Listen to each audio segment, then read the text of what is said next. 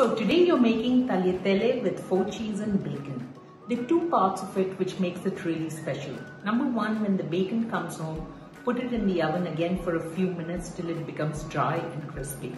When you're making the sauce, the trick is let all the cheeses melt very gently on slow fire with a little bit of cream.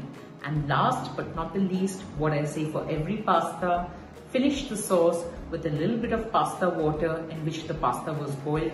It makes it lighter, gives it a shine and ensures that your pasta does not stick.